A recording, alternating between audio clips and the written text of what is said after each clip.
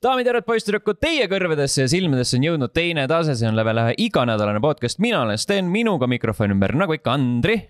tervist. ning tänane külaline Sydney Tomson, tere tulemast, juhuu yeah!! Parim, parim aplaus, esmakordne, esmakordne mulje siia ei ole isegi midagi postis vaja peale No näed. Te olete nii tublid ja andekad mm, siin. oleks, oleks kohe teadnud. küsija, Jah. küsija on teema. siia sulle saad. see ei sobi. see, et tagantjärgi, et noh, Lihtsalt- kus oli nagu lihtsalt mingi. kritiseeri Jah. ja siis looda, sõima ja saad. et, et on võimalik ümber teha mingi Eesti meeste värk, vaata, sõime ja saad. mm. -hmm, mm -hmm. ja äh, tere, Sydney äh,, väga tore, et oled äh, järjekordne, järjekordne saatekülaline meie pikas pika ajalooga saates, kus hästi tihti käib külalisi. Te olete, hakkas, ma, saad aru, mul on kõige suurem Estonglishi probleem praegu. ma tahan väga vähendada oma Estonglishit, sest et see on mul kohutav hetkel. aga, aga kõik laused, mida ma proovin nagu mitte inglise keeles öelda, ma ei oska neid eesti keelde, ma tahtsin öelda, et you are so welcome, ma hakkasin ütlema, sa oled nii ja siis ma olin mingi. ja mis edasi nüüd siis? igal juhul te olete väga tänatud ja aitäh kutsumast mm, -hmm. seda ma oskan. see oleks päris nõme olnud jah, kui sa oleksid öelnud, et jah, et te olete väga tä- tänulikud. jah, Te olete väga tänulikud. te olete nii tänulikud. rääkides tänulik olemisest, siis aitäh, et sa tulid palun, aitäh, et kutsusite. Ähm, ühesõnaga äh, hästi originaalne mõte on see, et, et äh, meist võib saada selline alternatiiv Eesti kuulsustele, kes tulevad ja siis äh, räägivad enda asjadest, kui neil on midagi värsket tulnud. hea näide või noh, tegelikult mitte hea näide, näide., üks näide, üks näide sellest, kuidas äh, vaikselt niimoodi sahistatakse enda promo sisse kuskile. vaatasin äh, või noh, elukaaslane vaatas äh, Maskis lauljat ja siis äh, Franz Malmsten veab seda ja siis see saade lõppes sellega, et äh, promos mingi suht häbitult seal seda oma stand-up'i ja see oli nagu väga awkward, lihtsalt mõtlesin oh,, wow, ma kusjuures mõtlesin, et kas, kes nagu, kas, kuidas tal lubati teha sihukest asja, sest et minu arvates sihukestel suurtel nagu formaatidel on enamasti, no nii palju, kui mina tean või kuulnud olen, on keelatud sihuke mm. -hmm. asi ja ma vaatasin sama asja, mingi okei okay,, võib-olla kui sa oled Franz Malmsten, nepo baby, siis sa võid. Kas see oli otsesaade või? ei ole. ei ole, Okei. ei ole, ei ole. sest ta kuidagi nagu Maskis laulja võib-olla kunagi oli suur, aga praegu ta ei ole suur saade enam ju. sa, üks osa on väljas. ei no selles mõttes nagu selle skaala on point mõttes või? jah, no mine. ei no kunagi ta ikkagist ju, et noh, ma küll ei ole seda kunagi vaadanud, aga ma kunagi nagu teadsin seda. no aga sa nüüd ka said teada. jah, ma ei ole küll kunagi vaadanud, aga on ma olen ekspert. saade. mina olen ekspert selles äh, Malmsteni ja Maiduki selles beef'is, et see oli nagu sihuke lahe, kuidas äh, Mm. Ah, see- mõlemad hakkasid promoma, et mis algas Stand-up'i poster, kus mõlemad olid poti peal, onju. jah, jaa. aga olgem ausad, see ei ole eriti originaalne idee. seda kindlasti mitte mm, -hmm. aga see on umbes samamoodi, et kui sa mingisugune Andrew Tate oled ja siis käid pükstega saunas, onju. Kui sa oled siis- Mars, Mars, vabandust, Malmsten, siis sa istud poti peal. siis tuleb, tuleb keegi teine, läheb pükstega sauna siis Teit saab vihaseks või? ütleb, et ma olin Ei, enne sind et leigis nagu- saunas. aga ei saanud sellest võrdlusest aru praegu ei no selles mõttes, et Malmsten ju oma pildi peal istus ju aluspükstega seal poti peal. mm. -hmm. nii. nii, Andrew Tate tuleb siis kus nüüd nagu? ei no siis see Andrew Tate'i vaata meem oli selles, et kui tema käis pükstega saunas, et need on need tegevused, mida sa ei tee pükstega, sa ei, ei istu poti peal pükstega. okei, okei, okei. kas see oli nii kaugelt püütud või? no natuke. peaaegu ma noh olin. juba mingi, et issand, ei võrdle Franz Malmsteni Andrew Tate'iga. no kui sa vaatad peale nagu ilmselged sarnasused juba ju. jah, mida tegi üks Eesti tuntumaid videopodcast'e oma saates? Midagi ennekuulmatut mm.. -hmm. vabandust, kui see riivas kedagi. see ei olnud tahtlik, ma ja rääkisin nüüd pükstest. apology video pisar Jaa. käsu pealt ma ei, ma ei, ma ei plaaninud ette seda ja. sa pead, oota, mis see on? mm. -hmm. Äh, jah, ei osanud arvata, et me peame selle video tegema. aga kahjuks. seda mul on, mul on nii hea meel, et, et te olete kaastundlikud Mhm. või tänulikud. tänulik. ühesõnaga, meie saame olla alternatiiv äh, saatele Hommik Anuga, kus käivad kõik Eesti kuulsused enda asju promomas, välja arvatud äh, siis äh, koomikud Äh, Nemad käivad siin, vähemalt Miikal Meemaa käis. koomikud käisid ka tegelikult hommikuanuga saates. jah, aga nagu üleüldises mõttes on ikkagi neil keerulisem saada sinna. Ma arvan, enam neil ei ole mitte midagi keerulist. no ma ei tea, Vindberg alles siin kuskil internetis andis mõista, et kõik teised käivad ja siis, kui tal on uus tuur, siis teda, teda ei võeta. aga see on tema probleem. see on lihtsalt seal on see, et mulle nagu tšekk ukse peal või? jah, ei lasta sisse. no, no. teda võetakse siis kaasa, kui sul ka ülejäänud tüübid tulevad üksi nagu, come on noh. Uh, ta üksi ei kanna. tere, mul on uh, uus tuur tulemas, kas tahaks saatesse tule, tulla kes siis ohjendavad? Uh, Sander on ka või? Harri-Mati on ka või? kas nad saavad, kas nad saavad ka tulla või? no ma, ma ei tea, meil siin vist praegu ei ole ei aega. saa, nagu Erich Kriegeri tuli uus singel välja nagu noh. Anna meile märku. slotid on täis. anna meile märku, kui Sander ka tuleb. ja, ja, ühesõnaga äh. saab juba promoda või ei saa? räägime, räägime, promome natuke asju äh,. Sydney, sina oled äh, nüüd äh, võrdlemisi pika staažiga saatejuht juba, jaa Jaa., kolmekordne. kolmekordne äh,. värskelt tuli uus saade välja, räägi, mis saade see on? Kõige parem kaaslane, kolmas hooaeg, ma teen otse kaamerasse, siis ilmselt see on päris promo mm.. ma ei tea, tegelikult hommikanuga nad ei vaata kaamerasse vist on ju, okei okay,, siis ma räägin ikka teiega. aitäh, Anu, by the way. muideks, aga Franz Malmsten vaatas otse kaamerasse. vot siin nüüd tuleb valida jah, et kelle rolli minna, võib-olla ma lihtsalt püsin enda kingades, sest et on selline ütlus, et ole sina ise, sest kõik teised on juba võetud. See on hästi ilus. Vau, kui geniaalne. hittis, jah hittis., hittis palun, valusalt te, te praegu. olete nii tänulikud äh, igal juhul jaa, kõige parema kaaslase kolmas hooaeg tuleb ja tuli, esimene osa on juba väljas. ja meil on, see on kolm hooaega, siis noh, kolmas hooaeg tähendab seda, et seda on varem olnud kaks tükki. igal juhul, lihtne matemaatika. just selle jaoks ei ole kalkulaatorit ega mingit veebilehte vaja. ära ole kindel selles. pane Google'isse. kalkulaatori. Kõige parem Ma- kaaslane kolm, mitu oli enne? lükkan jälle oma lollide küsimustega vahele, et Sten rääkis kolmest saatest, siis me ei räägi nagu saate episoodist, episoodidest, erinevast Jah. asjast. nagu Äh, sama kontsept, sama saade, kolm hooaega. aitäh. Äh, jah, igal juhul nüüd tuli kolmas la la la. meil eelmised hooajad on olnud siuksed, et noored pannakse vanasse vannamajja, ma ei tea, kuidas seda õigesti käännatakse. Mõlemat pidi võib. poolsoomlane, okei okay., vanasse ja vannamajja äh, pandi osalised, siuksed noored ja siis vaadati, et kuidas nad saavad hakkama ilma igasuguste tänapäeva mugavustega aga seda me tegime kaks hooaega ja nüüd on kolmas hooaeg on täiesti teine. meie kontseptsioon on siis see, et äh, jälle noored muidugi, aga neid ei panda kuskile vanasse majja kinni, vaid nad peavad ise ülal hoidma karookebaari ja kõik tööd, mis ühe karookebaariga seonduvad, on kõik nende teha. ehk siis kõik promo, baaritöö, kaunistamine, lugude kirjapanemine, kõik, mis äh, töö seal on, on nende teha. ja seda baari ei eksisteerinud enne meie saadet ja seda ei eksisteeri enam ka peale meie saadet, et see oligi ainult niisugune nagu pop-up baar, mida siis mm. meie osalised äh, ülal pidasid. ehk siis sinna enam minna ei saa, jah? ei, võib-olla rahva tungival soovil äh,, eks näis, võib-olla neljas hooaeg. aga sa pead väga tungival soovil ütlema, et sa Jaa. nii tahad sinna sa. võid juba hakata kirjutama Jah. palvekirja. kas ma pean selle jaoks Malmsteni poeg olema, et siis ma saan, jah? ei, ei, ei, me kuulame Okei. ka mitte Nepo beebisid. oi, kõik, mis sa tegema pead, on saadet vaatama, see juba aitab. nice. vaatasin hiljuti Levirast seda baari äh, dokki.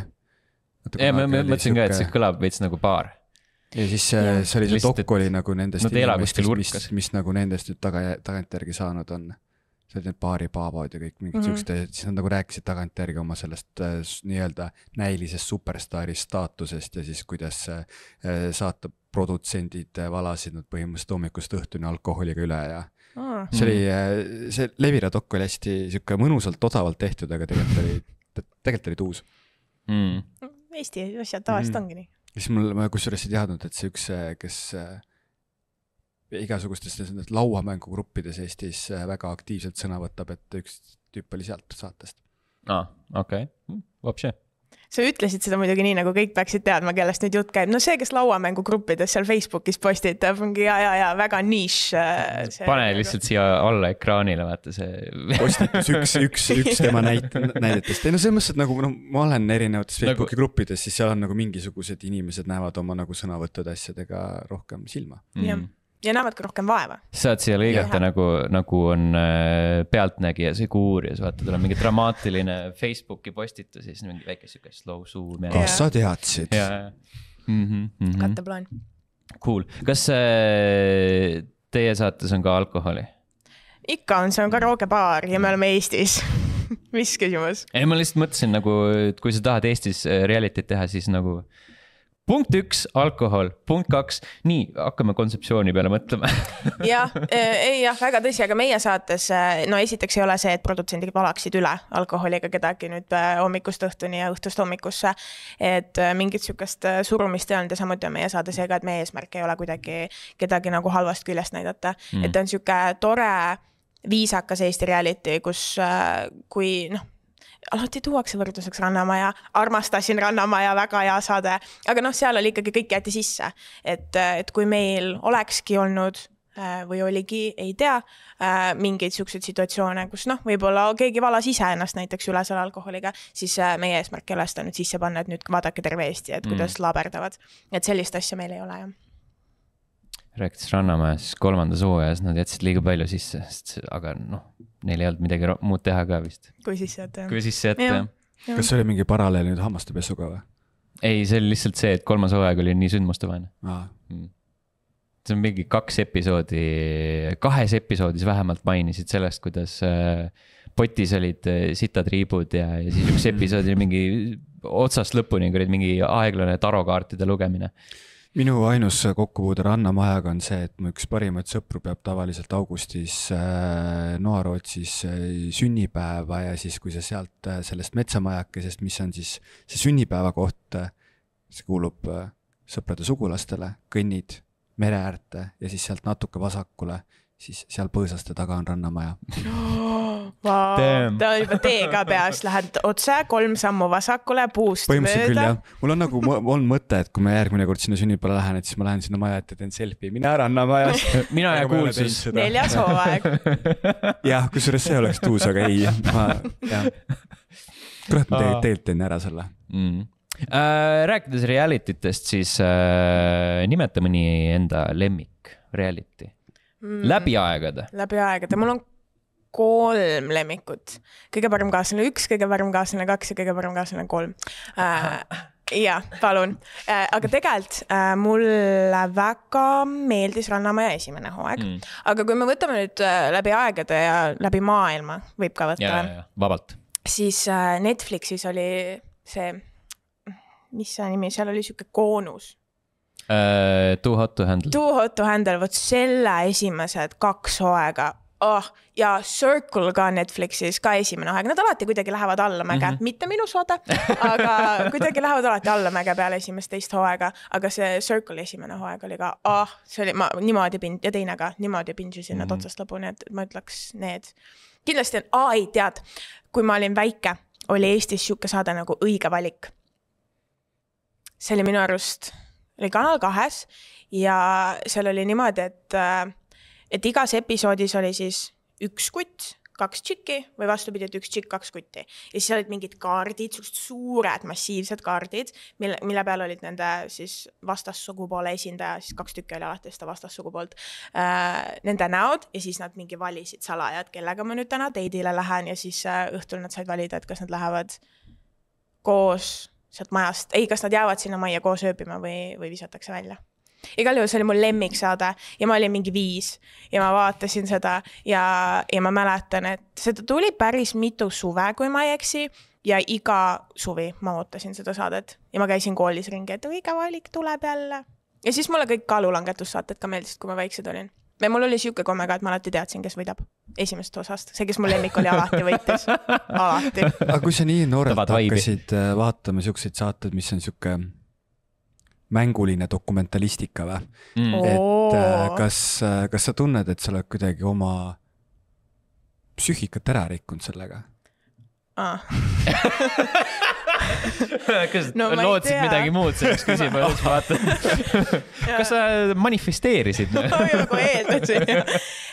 ma ei tea, ma ise ei ütleks, see, aga samas see ei ole ka see osa, mida ma oleks endas veel analüüsinud. et võib-olla seal mingid märked on. Et võib, võib-olla, aga ma ei oska sulle niimoodi paugu pealt vastata. ma arvan, et ei, ma tunnen, et ma olen nagu ok, ok vend. Hmm. samas Okei. okay. seda ütlen mina muidugi, et noh, joh, ei tea, mul on nagu null mälestust sellest õigest valikust. ma olen nagu vaadanud küll sellel ajal Eesti reality maastikku. mul on mingisugused mälupildid seoses selle põhimõttega, et kas nad, kas see keegi läheb trepist alla ja, ja siis jah, kas jah, ta jah. tuleb ka temaga või Jah, ei tule jah. ja siis kas nad umbes, et lähevad koos ära, mul on mingid siuksed mälupildid Okei. aga see on siis ilmselt järelikult tulenevalt sellest, et a la ma tulin saunast ja ma nägin, kui keegi kõndis sealt trepist alla telekast onju ja siis ma läksin oma tuppa Diablot sa mängima. nägid igast episoodist ainult sedagi, et keegi kuskilt kõnnib ja, ja see on see reality. jah, ja siis kas nad nagu lähevad koos ära või ei lähe, jah. See ei ole nagu väga descriptive ka, sellepärast et nagu see kogu see äh, trepist alla tulek või noh, kuskilt alla tulek äh, meenutab, mis need olid, need kuradi maa. Poissmeeste õhtu või. ja, ja, aga selles mõttes, et aga ajastu, tollel ajal ei olnud poissmeeste ja tüdrukute õhtuid mm. -hmm. see oli no nagu see on sama ajastu- asi, lihtsalt sul on teise nimega ei, need olid ikka viisakas oli õige valik, mina viieaastasena ei oleks saanud emalt luba seda vaadata mm, Mhm. -hmm. kui see oleks olnud poissmeeste Mm. pidu näiteks mm. see on siis ikka- oleks küll olnud väike. vot siis oleks psüühikahäireid palju. jah, mis nagu arusaam on sellest, et milline on noor inimene ja mida ta teeb ja Mhm. millest mõtleb ja kuidas ta räägib.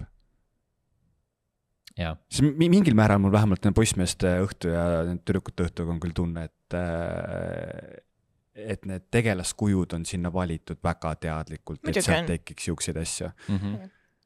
et see on nagu see on ju ikkagi tele ja kõik inimesed, kes seda teletööd teevad, nad teavad täpselt, mida nad Ja, tahavad ja, ja nad teavad ja, täpselt mis nad teevad. aga, aga jah, poissmeeste pidu ja tüdrukute õhtu jällegist äh, fänn. seda on raske tunnistada, aga näiteks poissmees, seal oli see Kevin on ju poissmeeste jaa, peos ta oli mõlemas lõppkokkuvõttes. jah, aga no ikkagi Kevin, Kevin oli Mm, poissmeeste jaa, selles, ma, ma vaatasin seda äh, saadet. Niimoodi, me võtsime nagu Discordis kamba kokku ja siis kõik koos nagu mitmekesi vaatasime.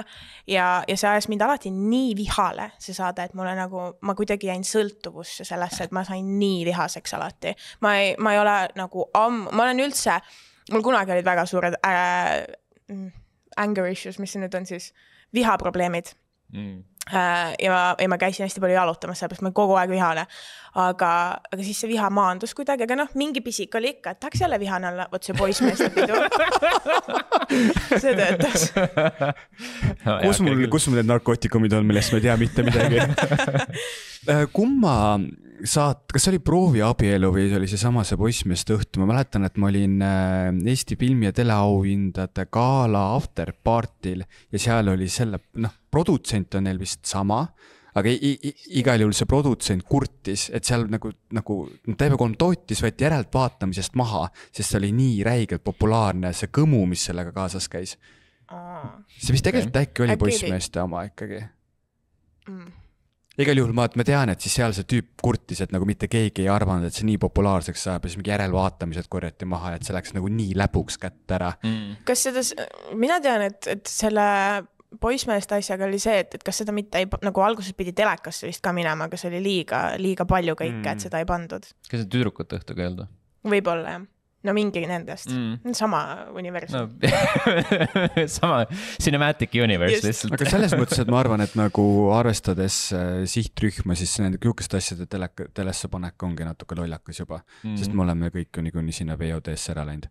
veits küll jah, jah, eks ta oli ka sihuke veits kaldus sinna Võsa Reporteri ha-ha inimeste Mm. üle naermine jah, äh,. väike mõtteharjutus võib-olla mõlemale äh,. aga eelkõige sulle, et sina mm, -hmm. kui sa oled äh, reality ekspert nii-öelda äh,, kui sa peaksid tegema kohtingusaate okei, äh,, mille keskseks teemaks oleks videomängud mm, Mhm. -hmm. siis milline see võiks olla, kuidas sa seda teeksid, mis oleks ülesehitus?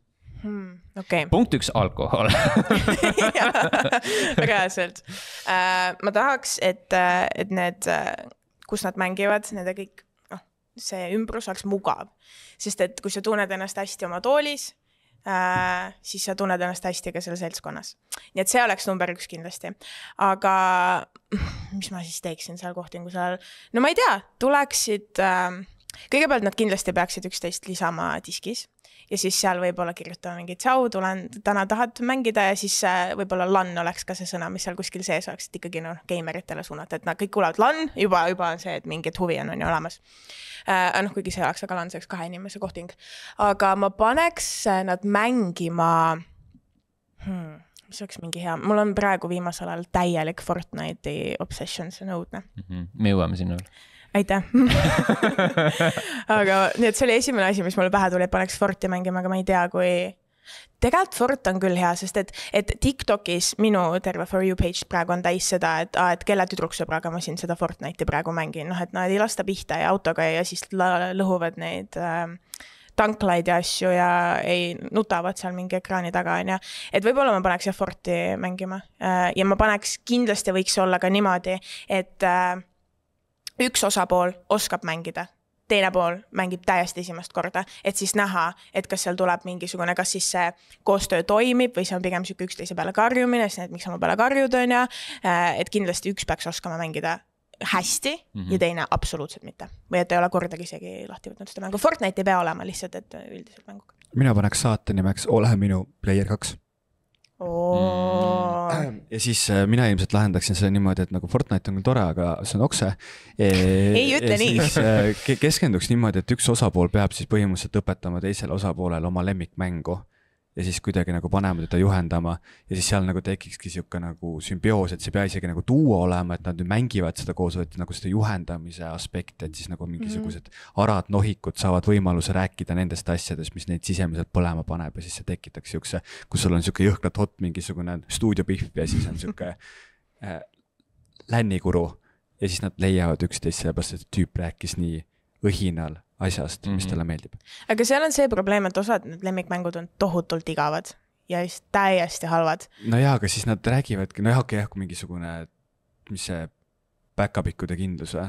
Dwarf Fortress, Dwarf Fortress, jah, see on, näeb kole välja ja siis selle jaoks, et seda mängu osata, sa pead lugema enne mingisugune kolm tuhat lehekülge teksti läbi. tuleb mingi hardcore muda fänn lihtsalt see oleks tuus see oleks räigelt lahe. või siis need vanad, vaata need tekstipõhised. no jaa, aga selles mõttes, et aga, aga äh, ei ole igavat teemat, on igav montaaž mm,. vot selles on sul väga õigus. jah, ma võtan kõik oma sõnad tagasi, tõesti. kõik tuleneb sellest. Nice. kuulge, see tegelikult kõlas päris hästi, nii et um.... siin on jumala sett olemas, ma ei saa aru, miks te ei tooda siukest asja on... siis, ruttu see... kes, kes meil praegu Elu24 peatoimetaja on Lust. aa, noh sul ta number on äh,? heakene küll, liigume edasi, ma olen äh, sinu Instagrami jälgides äh,. ma olen väga tänulik äh, olen su Instagrami jälgides äh, märganud, et sa teed mingit tondipüüdjate asja, mis asi see on? jaa äh,, tondipüüdjate asi on see, et mina ja kaksteist Youtube erit äh,, Kris Poiss ja Est Magics Äh, käime kummituskohtades või noh, kohtades, mis on kas siis maja või me käisime katakombides näiteks ja otsime kummitusi, siis meil on need masinad, EMF reader on meil olnud ja just mingi Ouija board'id ja, ja ühte kohta me käisime Hiiumaal, jäime isegi ööseks, see oli hirmus. aga, aga jah, et me käime nagu kummituskohtades ja otsime kummitusi ja siis hängime seal mm,. kas te päriselt ka usute kummitustesse? Jaa. Äh,, Chris Boys äh, on sihuke nagu natuke kõhklev, kahtlev, aga, aga niisuguseid äh, veidraid situatsioone on olnud meil siiani, me ei ole küll kummitust näinud, aga noh, mingid vihjavad asjad on olnud. keegi ei hakka vaatama noh tähendab, võib-olla ei ole kummitusi näinud, ma ei tulnud seda promoma aa, siis on suva jah, vaadake kõige paremalt kaasast äh,. et jah, me ei ole nagu kummitusi otseselt näinud, aga, aga Kris Boyce oli alguses hästi skeptiline. no siiani veits on, aga, aga ta jah, tema, ta ütles, et tema ei lõpeta enne, kui me päriselt nagu kohtume millegagi ja mina jälle olen terve oma elu vaadanud Bitva Extrasensovit, on ju, emmega teleka ees istunud, kõik Eesti selgeltnägijate tuleproovid ära näinud mm,. mu emme on mulle mingi puhastusasju, aurapuhastust kunagi, ma olen nii selles maailmas sees lapsepõlvest saati olnud, kui üldse vähegi võimalik, mina usun seda kõike ja. nagu full uhuu spektrumit või? jah. okei okay jah Okei. jah, Mm. see on võib-olla see psüühikahäire, mis sealt õigest valikust kaasa tuli. ma saan nüüd natuke rohkem aru. okei okay., ja ei, selles mõttes, et äh, ma lõikan selle sinna nüüd vahele. ja on hea montaaž, õige montaaž. aga jah, et mina tõesti väga usun sellesse ja siis, kui nad käivadki seal ringi, on mingi kaitseväest tulnud kutid on seal mingi nii, aga paneme selle Ouija board'i siia nüüd laua peale ja teeme kõik valesti nagu siis mina ikka alati istun ja kössitan seal kuskil nurgas, et kas me peame, et ma saan ju aru, et see on nagu sisu, aga, aga mis siis, kui päriselt keegi tulebki ja võtab mu üle, mida ma siis teen? kellega ma, kuidas ma siis Eurovisioonile lähen? vaata, see on nagu mõtete seda kõike valesti tegemist, et te võtate Ouija board'i välja, teete selle rääkimisega noh, seal- on ei, reeglid. ei pane kinni seda pärast mängimist, kõik siuksed asjad ja. jah, no me ikkagi paneme, aga, aga meil näiteks, kui me käisime Hiiumaal, siis me läksime siuksesse alla ülisuskeldrisse, kus äh, on väidetavalt nähtud äh, hobust nagu ratsutamas nagu hobu- kommi-, hobuse kummitust äh, ja ratsanik on peal ka ja ta ratsutab seal nagu. ja me lähme sinna ja meie kõik Enfi riiderid ja asjad nagu paukusid seal ja siis nad on mingi nii, aga teeme siin Ouija board'i, paneme uksed ka kinni, siin kuskil keldris, kuidas ma välja saan, kui midagi juhtuma peaks, kas ma jään ellu, ma tulin Hiiumaale videot filmima, ma ei tulnud siia selleks, et, et ma, mina ja mu lapsed oleks äh, terve elu possessed, mul ei ole seda vaja, aga ma alati teen seda kaasa. räägi korraks nendest, mis masinad teil kaasas on, kust te need saite ja miks nad töötavad? Ameerikast saime. ja M-Freeder on siis sihuke, kas te olete Phasmophoobiat mänginud või? ma videoid olen näinud ütleme, et oleme. mm.. Okei, no siis ma ikkagi siiamaani plaanis mingi paar aastat vist. jah, Mhm. me oleme No, vanad. M-Freeder on sihuke masin, kus on nagu viis väikest tulukest otsas ja mida lähemal sa oled äh, siis mingisugusele teispoolsuse kogule, seda rohkem tulesid põlevad ja mida lähemal sa oled ja mida ohtlikum see on, seda kiiremini see ka nagu läheb sinna lõputulukesse. et kui sul on alati see üks tuluke põleb, on ju, käid ringi, järsku on nagu läheb pikk, läheb lõpuni nagu viie peale, siis sa tead, et vot siin on, siin on nüüd kummitus. ja see masin on Ameerikast mm.. ja siis meil on olnud kaasas ka neid kassipallikesi, millega kiisud mängivad, et kui sa pihta lähed, siis ta hakkab vilkuma. tehniliselt nagu mingisugune teispoolsuse energia saaks seda ka nagu kuidagi käima lükata, need äh, võib-olla on töötanud, ei ole. ja, ja noh, Ouija laud on siis Ouija laud on ju.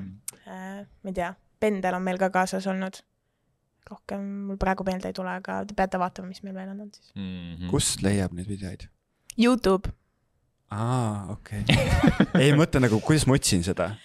äh,, tondipüüdjad pane Youtube'i Lihtsalt, või okei. pane Sydney ja käi kõik läbi ja kuskilt ikka leiad okei okay., Mhm. mingi viis lehekülge. rohkem. ma mõtlen ka viis, kuule, Sten ei, no ma meil on ma ütlesin suvalise numbri, meil, me ei ole isegi esilehel, come on. me, ei no kui sa paned otsingusse level üks punkt ee, siis ma võiks olla esilehel no no,. ja siis võib-olla võib-olla. häda, läbi häda saad. okei, okei. Ma vaatan, õhtu on ka tondipüüdjaid teinud on jah? mm.. enne või pärast? uh,? neli aastat tagasi. aa, kurjam, kurjam. aga see on nagu selles mõttes põnev teema, et minul, kui mul vana-vanaema suri ära, siis meil hakkasid äh, Viljandi kodus igasugused mingid imelikud asjad toimuma, kui ma olin väike laps. ja siis mul on üks sihuke mälestus, et äh, ema kutsus kirikuõpetaja külla ja siis me laulsime kodus. Päriselt Mm. või oh? hirmus ei olnud või? ma olen väike laps, ma ei saanud midagi aru. nojah, nojah, aga kas, kas sina nägid rohkem neid asju kui teised? sest tavaliselt Mm. mm. väikeste laste see kuidagi energia on nii avatud, et äh, nad äh, tajuvad rohkem. ma ilmselt kuulsin mingisuguseid asju, aga ma, ma, ma ei saanudki isegi siiani vist päris täpselt aru sellest põhjusest, miks see kirikuõpetaja kutsuti. igal juhul ma tean, et siis mu emal olid ka mingisugused nii-öelda nägijatest sõbrannad, kes siis nagu läbi mingisuguse kolmanda silma olid tollel hetkel meiega ja siis nad kirjeldasid, et kuidas mingi must kogu meie majast lendas üle Viljandi jä- järve. Creepy. okei, aga see mul on küll meeles, meil oli üks mingisugune esimese Eesti ajal sihuke ilus sihuke klaasist äh, ruudust vaagen. ja siis, kui ühe korra, kui me kodust ära olime, siis see vaagen oli põhimõtteliselt laua peale, ta oli täpselt diagonaalist läinud pooleks. appi, nii et kui te järgmist saadet tahate teha, siis me teame, kus teha. lihtsalt, et saate klassist Wagnerit võtta enda sinna. jah, ja, ja, kus, kusjuures see võiks küll olla jah, et nagu mingid ma jätan meelde, ma kirjutan üles ruttu kõik ja lähen pitch'in. ma vaatasin, kui lihtsalt tondipüüdjad panna, see esimene vaste on äh, Chasing Paranormal Est ja siis kümme aastat tagasi on tehtud mingeid asju, vabandust, üksteist isegi. Mm. aga teine on siis meie või? Teine on see õhtu. ah, kuule, kus Chasing... meie, see ei tulegi seal ju Chasing. Paranormal on äh, hästi palju. siin on Est ainult Magic Est Magic su asjad on siin. äh,. siis on äh, tondipüüdjate film, see ärge naistega. pange tondipüüdjad otsingusse, kui te soovite seda leida. aga äh, Chris Boys, oota, ma panin, kui ma Sydney panin, siis ma leidsin. aga, aga jah, natuke läheb aega. aa, näe, lõpus on juba siin. Chris Boys sellega tuleb nüüd siis tegeleda mm. -hmm. mm. -hmm. Aga no näed, midagi saime nüüd, saime jälle targemaks. absoluutselt. sa oled äh, ilmselgelt äh, oled äh, meelelahutusmaastikul võrdlemisi tegev. kas on veel mingeid asju, mida sa tahaksid teha ja mingeid, mingeid, kuidas ma ütlen, saavutusi, kuhu jõuda? ja äh, ma tulen nüüd natuke väikse ringiga tagasi siin mingi aja taguse teema juurde. mina tahaks olla maskis lauljas maski all, sest see on suur ja lahe saade. see on. kui sa nii ütled. see on, see on, see on nii, see on mu lemmiksaade, mis Eestis tehtud on peale kõige parema kaaslase muidugi äh,. aga see on, see on nii lahe ja kui esimene hooaeg välja tuli, ma tegin enda telefoni notes äppi mm, listi, mul on seal mingid laulud kirjas, mida ma tahaks laulda, mu kostüümi ideed, mul on vihjete ideed, mul on lavashow ideed, mul on kõik olemas ja nad ikka ei ole kutsunud mind sinna, et ma saaks need töösse panna ma, ma, ju ma pean siis veel suuri asju tegema Mm. ruttu, et. kes see oli, kes nüüd esimeses osas meil välja langes? äh,? see oli see. Teller, Teller jaa, jah. see Blondcast ja mis see kuradi Jah. rahahuinja saade. Äh, kuidas sina arvad, kumba äh, inimese kohta, kas sina, sinu või tema kohta Delfi kommentaar, kommentaatorid küsiksid rohkem küsimusi, kes ta on? vaata, sa ei pea mind ründama Ei, ma ei siin ründa niimoodi lihtsalt. päise päeva ajal. ma ju saan aru, miks ma ei ole seal saates põhjusega. ja selles mõttes, et nagu ega Teller on ju ka tegelikult suhteliselt nagu spetsiifilise sihtrühmale, et ma arvan, et tegelikult Mm. sinu sihtrühm on kindlasti suurem. aga lihtsalt, et nemad ei jõuaks kommentaatorid. ja et kui telekat, teleka vaataja inimene võib-olla ei pruugi teada jah, selles mõttes. Mina ei vasta küsimusele. okei, ei selles mul mõttes, ei et see ole oli. vaja seda rünnakut, küsimus oli, mida ma tahan veel see teha oli, see oli tegelikult taotluslikult natuke, natuke provotseeriv, ma sain aru, jah. ja selles mõttes sind on televaatajad vist äh, rohkem näinud äkki või? ei, aga ta tegi ka, ta juhtis TV3 stuudiosaadet aga ta ja, hästi lühikest aega tegelikult.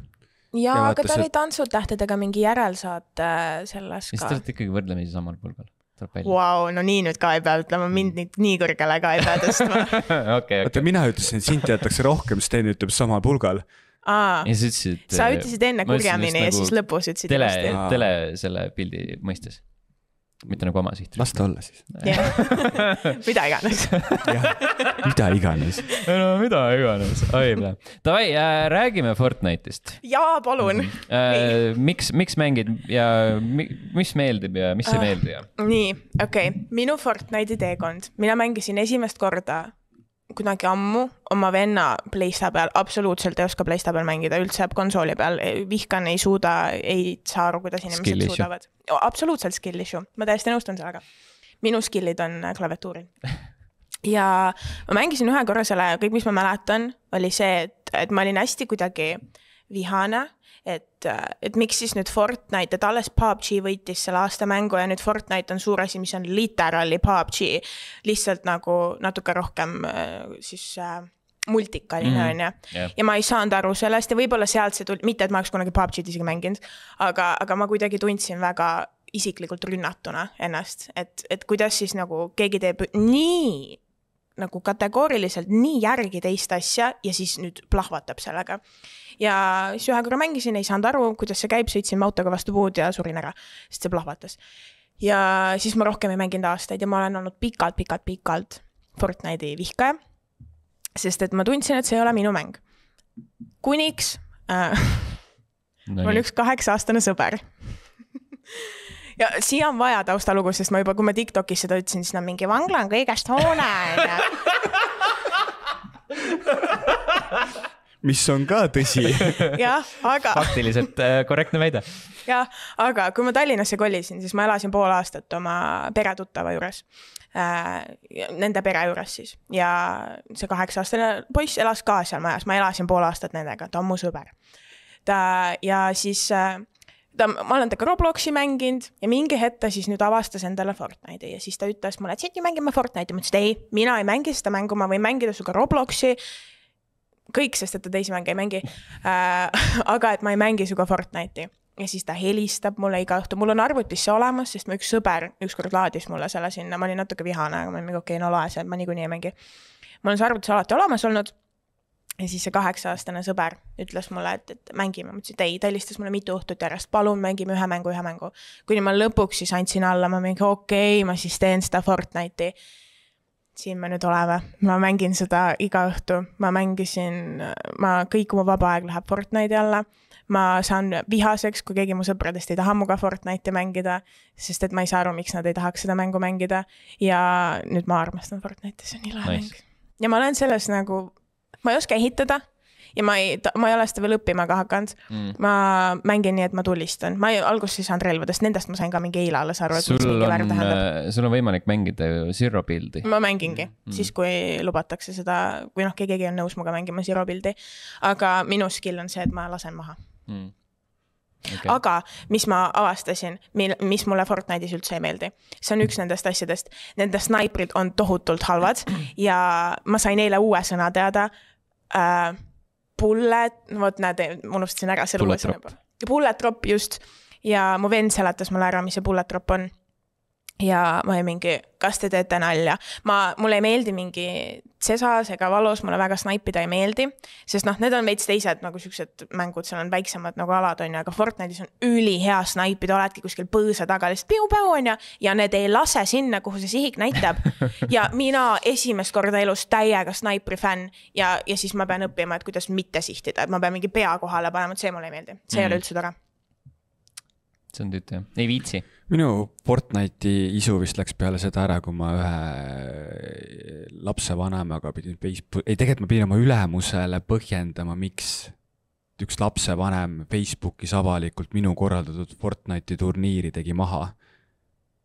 sest et nad ei saanud sellest äh, üheksakümne üheksa mängija loogikast aru ja siis, et miks minu poeg ei saanud mängida, kas see ongi Eesti e-spordi tase. ja siis mu ülemus saatis selle edasi mulle, et noh, vasta nüüd talle midagi.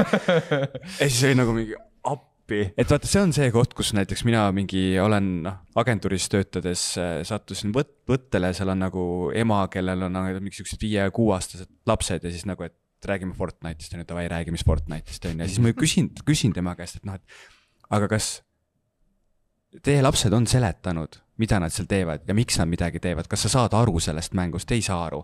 aga et nagu mine istuda kõrvale ja küsida käest.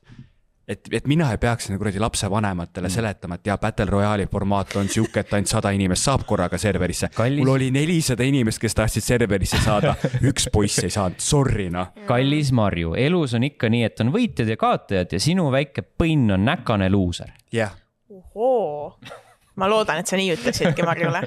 see oli isa, see oli mingi, see suht kuri isa oli, sest et ta ikka nagu noh, päris jõhkralt kirjutas ikka. okei, okei, Jeesus Oi. Kristus. aa, Fortnite'ist ma ruttu veel räägin oma loori veel juurde äh,. ma küll olin nõus selle kaheksa-aastase sõbra nagu peale, et, et Fortnite'i mängida, aga tegelikult, kus mul see pisik tuli sisse, no ta muidugi helistas mulle iga õhtu, aga see, et noh, ma lihtsalt ei otsustanud, et ma olen nüüd hea sõber, ma mängin sinuga Forti. üks Soome avaliku elu sihuke tegelane on ju, sihuke kutt, geikutt, peab mainima, sest see on oluline detail, kes on nii videomängu kauge inimene kui üldse võimalik, hakkas striimima Fortnite'i Tiktokis ja see tema striimid, kuna ta räägib hästi ilmekalt ja ta ei saa mitte midagi aru, mis seal mängus toimub ja need striimid ei ole ka nagu noh, striimid on ju, vaid need on niimoodi, et ta on pannud ühe kaamera telefoni kaameras mingisse nagu piiriili teeks mm. -hmm. niimoodi, et väike on tema nägu ja siis see teine pool filmib ta nagu Playstaga mängib telekat kuskilt mingi nurga pealt see on nagu DSP. see on tohutult halb stream, aga ta on nii naljakas selles ja need tema Tiktokid võtsid terve Soome For You page'i täiesti üle. sest nende, seda, neid sound'e kasutati ja tema nägu kasutati ja sellel hetkel ma olin mingi, kui tema mängib Fortnite'i ja see on nii naljakas, siis mina pean ka mängima. aga kas sa oled sellega mingit sisu ka hakanud tootma juba või? ma eile striimisin ja mm., aga see oli viga, sest et äh, ma olen nii liiga sees selles mängus, et ma ei suutnud sellele striimile keskenduda, ma ainult keskendusin Fortnite'ile. ma olin mingi nii, ma olin täiesti vait, täiesti keskendun mingi okei okay,, snaibin seal on ju mööda. ja, ja siis järsku ma mingi, oota, ma ju striimin ka, ma peaks rääkima ka midagi, et see, see ei töötanud ja siis ma ütlesin lõpus striimis, et äh, et ma pean seda äh, striimima Forti uuesti siis, kui ma ei ole nii obsessed selle mänguga, sest ma noh, muidu ma olen nii selle sees, et ma ei saa Mm. seda striimida. ja, ja, ja. Cool, cool, cool. ma olen nüüd mingi paar hooaega maas olnud, ma võtsin otsuse, et ma ei mängi Fortnite'i eh, enne, kui on mingi mõõnaperiood, sellepärast et muidu, muidu me ei jõua muid asju mängida. sa ikka vahepeal ikka jõhkralt palju mängisid Fortnite'i. jaa, jah, jaa, mängisin küll ja ma olen sinna raha ka päris palju pannud. Veel ei ole, aga ma tahaks. küll sa jõuad. ma tean, ma juba tahan, ma tahan Lady Gaga skin'i endale. seal on Lady Gaga skin. jaa, vot see, saad aru, seal on kõik, sa saad tantsida, sa saad pilli mängida, bändi teha, Fortnite on nii lahe ja ma ei saa sellega aru, miks seoses ma ja ma heitsin. just äh, nägin mingisugust seda uut, kas vist oli, kas Guitar Hero kitarri, mille nüüd saaks äh, vist lähiajal selle Fortnite'i kitarrimänguga ära ühendada. siis ma küll mõtlesin selle peale, et see nagu see kitarr nägi ise juba nii tuus välja, et mul on siis kodus sinine kitarr ja siis see must kitarr siis oleks sihuke lahe. sihuke lahe. jaa, täiega lahe oleks no. hakkaks mängima või lihtsalt hoiaks hoiaks, mm.? see on ka okei okay.. võimalusi on mitmeid. jah. mm.. tuus, tuus, tuus. Me rääkisime tegelikult selles äh, level ühe aasta lõpu või noh, aasta mängusaates, sest äh, siis oli aasta algus juba. aasta mängusaates äh, sinuga sellest, mida sa mänginud oled. aga sellega seonduvalt. kas on selliseid mängužanre, mida sa nagu kohe kindlasti mitte kunagi ei kavatse proovida? LOL ja kõik siuksed mängud. mobad siis? Me ei tea, mis see tähendab. noh, lolli žanr. jah, no kõik no, need dotad ja kõik, mis on samasugused, ma ei mm,, -mm, ma ei kutsu üldse, mulle ei meeldi. pluss mulle ei meeldi väga siuksed pikad mängud ka, kus on nagu palju story't ja loori. Neid ma võin kannatada veel, aga jah, siuksed lollimängud, kus sa mingi klikkima pead ja sa näed ülevalt seda karakterit, no üldse ei meeldi. mm.. pealtvaates ei lähe peale ei, ei, automaatselt ah,, nope no no, uh,. konkreetselt, pealtvaates sa ei saa snaipida. Mm, täpselt, no mitte, et Fortnite'is ka saaks muidugi, aga uh,. Desperadosis saad? sul on, tekib ja, see ja, sihik ja, ja, ja, ja, Jaa. ja siis ta ju vaata, ta ju on pealtvaates, aga sihik on ju teisipidi. jah, jah, sihik, sihikut, no sa näed nagu ikka päris asja ja siis Mhm, paned mhm. selle täpselt sinna pea peale lahendatud jah. Nii et uh,. võib-olla seda siis võib, mm. -hmm, no tegelikult ei uh,. mis on kõige halvem mäng, mida sa kunagi oled proovinud? uh,. issand uh,. Hmm. kas, äkki, äkki ongi mingi Dota, kunagi mängisin seda korraks ja ei meeldinud üldse, ma mängisin seda muidugi absoluutselt sellepärast, et mulle meeldis mu klassivend, kes seda grind'is ja ma tahtsin, et ma meeldiks talle, et ma oleks lahe ja siis ma laadsin endale Dota. Ja ma sain mingi, mingi aeg hiljem teada, see on Steamis mu üks mängitumaid mänge. Ma olen seda ühe korra mänginud, aga ta kuidagi lõhkus mul niimoodi, läks niimoodi, et ta jäi peale ja mul on mingi kaks tuhat tundi Dotat. ma olen ühe korra mänginud seda nagu, mul on äh, sama asi äh,, isegi kaamera väliselt näetakse selle peale, mul on sama asi Counter Strike'iga, ehk siis, et minu kontosid on kasutatud turniiride raames observimiseks. Ja siis mul on seal ka lihtsalt nagu mingi tohu hea tunde. Ja siis nagu, et aga palju sa siis, sa, sa pead päris hea selles vist olema ei, sa paned selle nutva, nutva kassi meemi. jah, õige. vihkan, kui see juhtub, see on kõõdne. aga ma ei tea, mis mul veel ei ole meeldinud. ma olin hästi, see ei ole nüüd sellepärast, et halb mäng oleks, ma vaatasin kunagi Outlasti mm, gameplay'si hästi palju ja üldse õudusmängude asju mm.. ja siis kunagi ma ootasin nii väga, et Steam'i Summer Sale tuleks, et ma saaks ka endale need kõik õudusmängud osta, ostsin.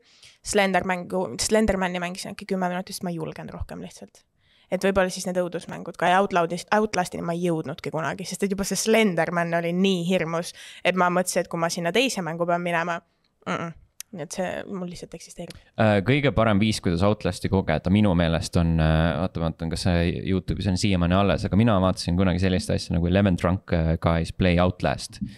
ja see on nagu täielik blast. kas meil oli ju plaan mingit sarnast asja teha või? meil on igasugused plaanid olnud, Andrei. me oleme plaani, plaanimehed. me oleme plaanimehed ja, ja. ja on küll olemas vist jah. okei, seda ma peaks isegi vaatama, ma vaatasin neid, need, kes neid React'e tegid kunagi mm. -hmm. React Bros, mis iganes. Nemad tegid, kus need Teens React to Outlast, kõik episoodid vaatasin ära. Ja siis tahtsin ise ka mängida, aga ei jõudnud. mm.. siin on tehtud kompilatsioon, tund kakskümmend on see no video. minu kompilatsioon on tund kakskümmend või? no noh, nad kõik on niikuinii minu meelest äh, monteeritud episoodid vist, okei. nii et äh, nad on kokku pandud. ma ei tea, äkki on kuskil originaal ka. peab otsima. mis mängud teile üldse ei meeldi? siit tuleb äh, muidugi mingi, mida ma ei tea, aga League of Legends, päriselt või? päriselt see on või? nii kole, jaa, kõige koledam mäng, mida ma tean. on. tõenäoliselt, see on subjektiivselt, muidugi objektiivselt on koledamaid asju, aga ma, ei suuda nagu sellele peale vaadata, see, see ei ole üldse kutsuv. aitäh, aitäh. meil kunagi äh, mingisuguse e-spordi otseülekande raames tekkis küsimus, et äh, millistes mängudes mina hea olen. Ja siis oli see hetk, kus ma nagu tahtsin nutma hakata, hakkad nagu ise ka kahtlema, et nagu, et oot-oot, aga nagu automängudes või, ja siis samal ajal oli Ago striimis, kellega me mingisugune paar õhtut tagasi minu juures olime Grand Turismot mänginud, mis siis lõppes niimoodi, et nagu noh, kaks sõpra olid külas ja siis lõpuks nagu nemad mängisid, sest et nagu nad said aru, et nad on mingi PR-ring minust viis sekundit kiirem, siis hakkasid neid ülesandeid täitma, onju. et siis, et nagu, et ei ole küsimust, mis mulle ei meeldi, lihtsalt, et nagu pigem küsimus oli see, et kuidagi iseendaga tekkis monoloog mm. -hmm. korraks. sulle ei meeldi mängud, kus sa ei saa hakkama? ei nagu hea- hea alati ole. on nagu ajakirjanike raskusaste mida? mis see tähendab? see on meie siseringi nali, eks No et sul on nagu easy ja siis mm. -hmm. sellest veel kergem raskusaste ehk siis ajakirjanike raskusaste. ehk ehk siis nali okay. seisneb selles, kuidas sul mingisugused äh, ajakirjanike versioonid on alati kõige lihtsamad, sest et neile antakse just nagu mingisugused Grand Turismo taolises mängus antakse mingit hästi palju raha ja mingid autod ja kõik asjad mm. -hmm. antakse lahti, et neile jääks positiivne mulje, et nad kirjutaksid sellest, aga tegelikult Jaa. kõik asjad on nii-öelda mikromaksetega seotud ja selle jaoks, et sa saaksid sama asja nautida, siis sa pead raha maksma. tegelikult, tegelikult tuleb see sellest, et äh, eksisteerivad internetis erinevad videod, kus ajakirjanikud, no mänguajakirjanikud mängivad asju ja siis nagu ebaõnnestuvad kõige lihtsamate asjadega. aa, selles on asi see ja või?, a la okei kuidas üks Polygoni vend mängis ja. seda ma mäletan ja, ja, siis see Cupheadi see tutorial ja. Mina olin täiesti kindel, et see tuleneb sellest, et sulle antakse ajakirjanikele juurdepääs mingisugustele kinnistele asjadele. Mm -mm.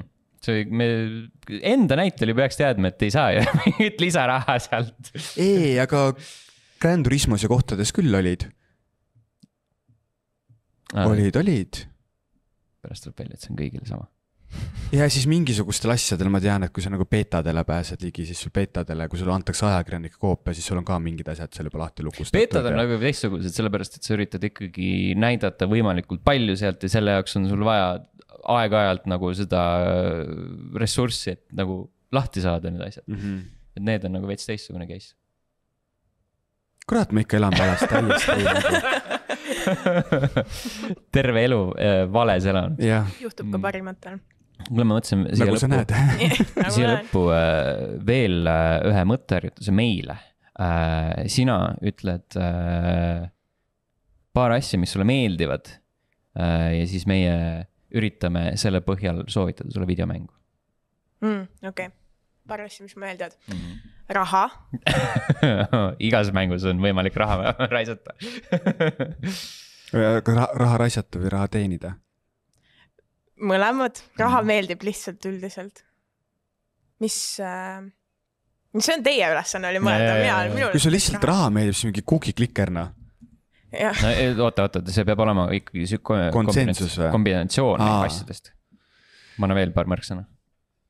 mm,. et mis mulle meeldib jaa, mm? -hmm. üleüldiselt. hapnik. mulle meeldib hingata. Ma Selver on tore. ma võin mingi nišika kanda uh,. see oligi nišikas praegu ju. vesi, aga konkreetne bränd. Mm, Tallinna kraanivesi. jaa, oh nice.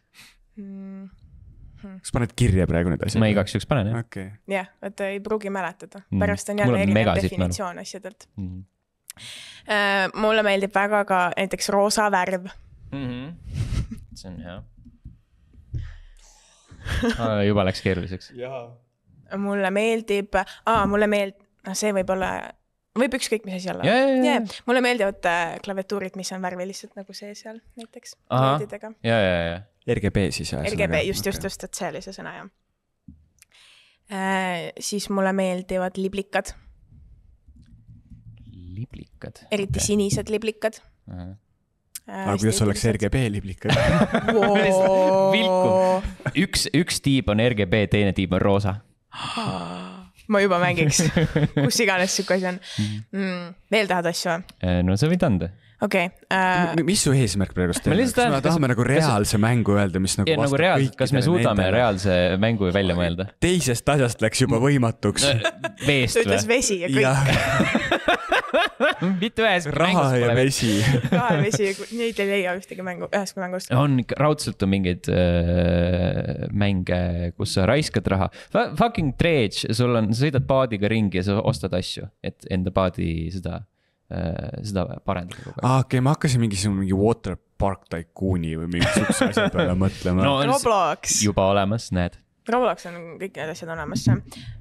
Sorry uh,. mis mulle veel meeldib, värske õhk meeldib väga mm. See oli muidugi See see nali, mis siin enne oli, aga mm. praegu alles. paneme lihtsalt äh, värske õhk, see on sihuke, selle ümber saab midagi ehitada mm. -hmm. sest mul on liblikad ja värske õhk, põhimõtteliselt on mul soovitus olemas. roosa värv kind of sobib sinna, RGB kindlasti mitte. vesi kind of nii, ah,. las see tulla siis. ah, uh, Life is strange, nii, mis mäng see on? see on uh, sihuke narratiivipõhine teos uh,. üks tšikk uh, läheb tagasi kodulinna ja siis seal hakkavad juhtuma müstilised, müstilised asjad ja siis samal ajal ka ta avastab iseennast ja näita mulle seda pilti, sest et nüüd, kui sa räägid, mul mingi nagu. Uh, Life is strange. ja, ja olen näinud küll kuskil. aga see, see enamustele äh, nagu vastab nendele märksõnadele, RGB-d seal ei ole veel. mm. -hmm. sa Äkki võid seda mängida RGB klaviatuuriga. RGB klaviatuuriga mängid yeah. ja siis sa ostad seda raha eest. jah, ära pira. mõlemad asjad mul on, natuke on raha ja RGB klava on episood, ka. näe, episood üks on tasuta, vapše Oh, ei peagi ostma mm. -hmm. Lebo saad, maigu suhu. aga soovitan ka siis mingit mängu. siis on nagu see, et sul jääb raha alles, sest et episood üks on tasuta. Mm. ja siis selle eest saab aga sa- osta Fortnite'i skin'e, põhimõtteliselt Fortnite ma- äh, kehtib ka kogu selle. loetle palun uuesti kõik need raha, vesi, roosa värv, RGB, liblikad, värske õhk, sinised liblikad siis sulgudes. mm. -hmm.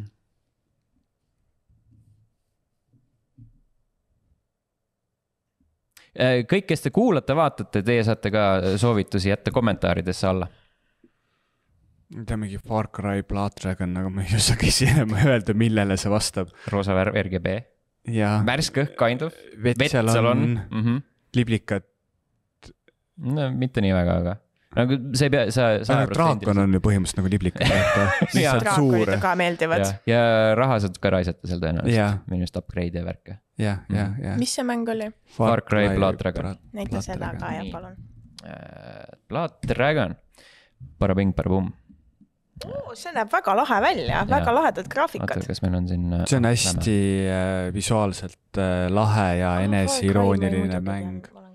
aga see on nagu, ta on põhimõtteliselt eraldiseisev äh, DLC.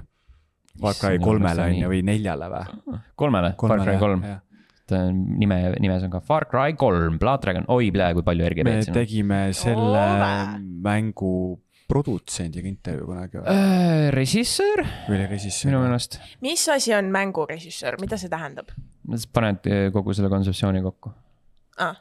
nagu põhimõtteliselt on see, et kui sind ei oleks, siis äh, vaata nagu, vaata nagu filmides on montaaž, on ju. Mhm. mängudes on ka sihuke asi nagu montaaž. Ehk siis, et sul on mängudes valmis tehtud mingisugused osad, mis näiteks lõigatakse välja lõppversioonis selle jaoks, et mängu see nii-öelda tempo ei kanna välja seda korralikult ja siis põhimõtteliselt režissöör ongi siis see, kes siis nagu tõmbab kõik asjad kokku või kelle nägemus siis nii-öelda esitletakse okei okay. mm.. aga üleüldse kontrollib kõiki elemente enne ka nagu, et ikkagi tema on see, kes poob ja laseb ja okay, mida no iganes. siis nagu filmides ikka. põhimõtteliselt jah. jah, aga kui seal on kuidagi see teema, et selle, selles meediumis konkreetselt. mängudes kuidagi on selliseid superstaar režissööre vähem kui filmides, sest ikkagist film on nagu autorikeskne meedium. aga kuna mängutööstus on nii suur ja nii lai, siis ta ei ole nagu ühe inimese keskne, vaid on ikkagist tiimitöö. mitte, et filmid on ka tiimitöö, aga seal kuidagi rohkem on seda režissööri pildis. okei, nii, selge, tuus. Tõesti uus. sellega tõmbame joone alla meie intekalaatsele tootele. siia teeme väikse reklaami vahepausi. level üks, Jeesus Kristus, level üks ee on see hoopis see Youtube, Youtube'i lõpus. Youtube.com kaldkriips level üks ee, seal on selline kena tore nupuke nagu join, sellele vajutades saate toetada meid, meie tegemisi, ligipääsu äh, boonus podcast'ile. selle nädala episoodis on äh, Sydney, räägib põnevaid asju, räägime Nepo beebidest, väike spoiler Äh, ning äh, ühtlasi saate ka siis äh, striimide ajal ja videote all kommentaaris kasutada meie lõustadega emojisid, kui te nii väga tahate. Ja kõik need inimesed, kes seda võimalust on kasutanud ja nupule vajutanud, on Rasmus, Mihkel, Kadri, Örü, Hanna, Reio, Medved nelikümmend kaks, Heiki, Karuonu, Rein, Liina, Stretadin, Rallih null null seitse, Hellhound, Lassi, Snapster äh, ja Palmer ning äh, on veel üks äh, eraldi tier, kus on äh, erilisemad inimesed. Jumal kuuskümmend üheksa Lamao, Donissium, Andres ja jutlustaja X. aitäh teile kõigile, eriti suured aitähid neile, kes maksavad rohkem äh, ja saavad selle eest täpselt sama sisu. aitäh teile. nojah, tegelikult ei ole täpselt sama sisu, sellepärast et me ütleme teile rohkem aitäh. vot Need, kes vähe maksavad, need panid selleks ajaks kõrvad kinni. ja, ja teie ei saa rohkem midagi siit. ja nüüd oleme jõudnud siia äh, viimasesse otsa.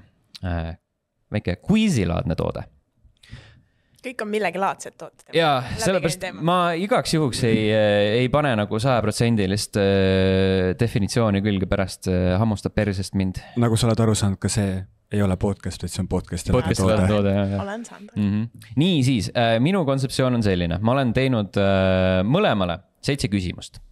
Kas need on isikustatud küsimused? Need on isikustatud küsimused. issand, Äh, kontseptsioon on selline, Andrile esitame Eurovisiooni teemalisi küsimusi, Sydneyle esitame videomängu teemalisi no küsimusi. kurjam. selles Äh, mõttes, et see on ebaaus.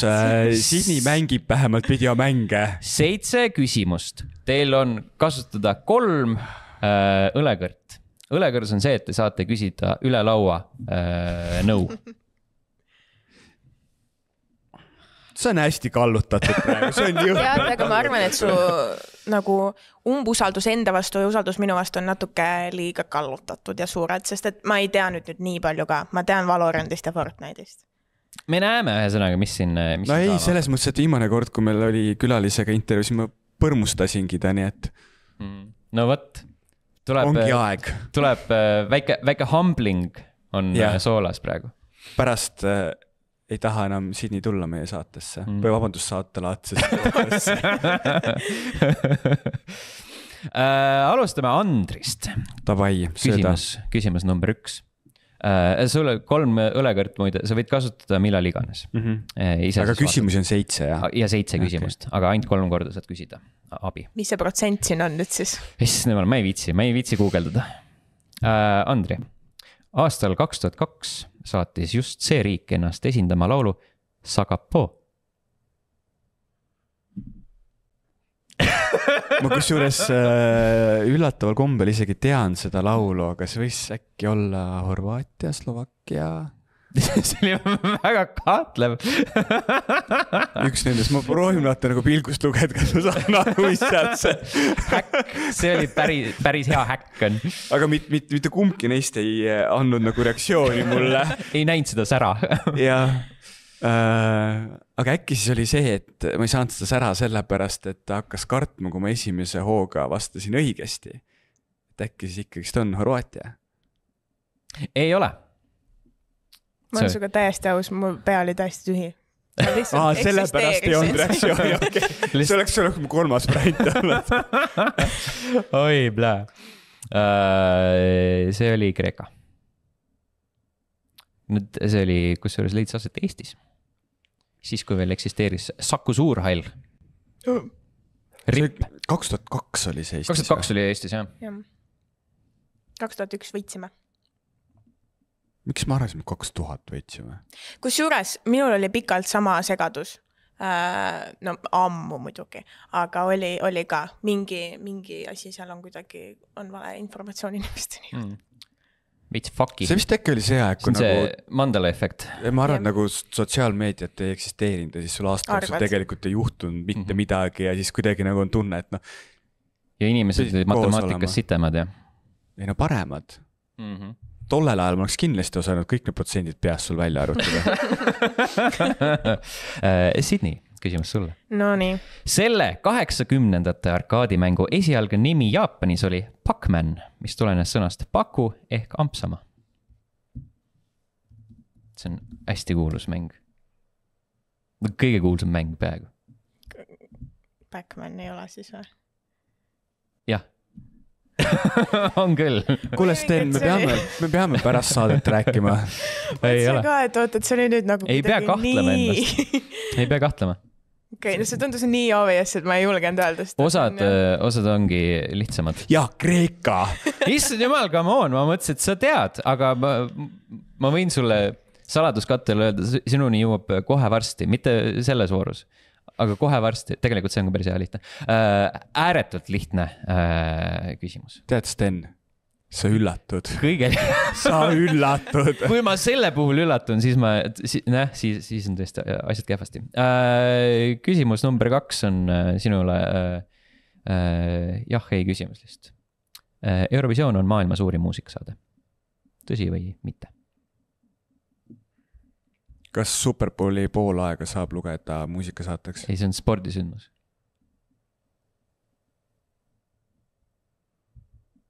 no siis ma ütlen jah. tubli, on küll see ei olnud ja see ei olnud see lihtne küsimus veel. oh, oh, no ma ei tea, kui lihtne see oli, siin tuli Super Bowl ka vahele, tal oli Rihanna tants oli ees, peal. Mhm. Baby Shark jah, jah, kummitas juba peas. võib-olla on see. mm. -hmm. Äh, teine küsimus. see äh, Innerslothi poolt loodud multiplayer mäng sai äärmiselt populaarseks aastal kaks tuhat kakskümmend, kuid see ilmus tegelikult juba aastal kaks tuhat kaheksateist. mis mänguga on tegemist? kõik need aastad on üldse nii segased, kui nad on koroonaaegadega seotud, Mm -hmm. siis ma ei tea kunagi, mis aasta on mis aasta. kaks tuhat kakskümmend multiplayer, popiks. jaa, mis see stuudio oli, Innersloth, kes levitaja oli? Innersloth, Ähm, mõtle, mida mängiti siis, kaks tuhat kakskümmend. niikaua kui Sidi mõtleb, kas ma võin ka, küsida? aa, tean, jumal, muidugi tean, muidugi tean, Among Us. jaa ja, ja, ja, ja, ja, Mis ja, tahtsid küsida?. tahtsin seda küsida, et kui äh, näiteks Sydney kasutab õlekõrt, kas ma pean vastama õigesti või? Ei no see on juba sinu südametunnistuse Okei. asi. ma lihtsalt äh, annan võimaluse. aga siin nagu, üldse on nagu, et annab vastuse ette, ei ole, see on abi või? Mm. no jaa, aga see ongi see, et sa küsid minu käest, aga kuna sa oled minu vastane, siis miks ma peaks sulle õigesti ütlema? sellepärast, et me oleme kõik sõbrad siin. jah. No meie vist oleme. Äh, heakene küll, Andri, viimasel ajal läheb elus nii halvasti, et vähemalt siin ma tahaks võita.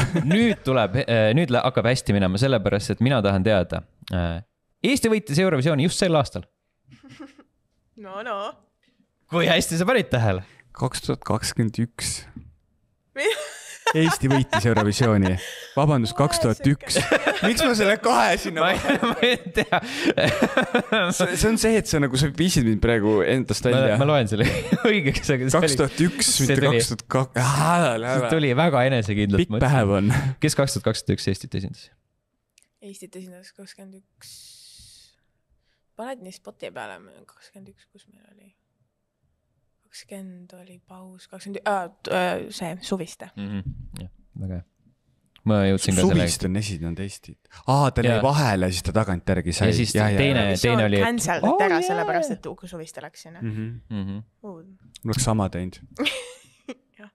nii äh,. Sydney, küsimus number kolm. seda nime kannavad populaarne tulistamismängude seeria, Beyonce'i laul ja tiara, mida kandis enda pulmas Kate Middleton.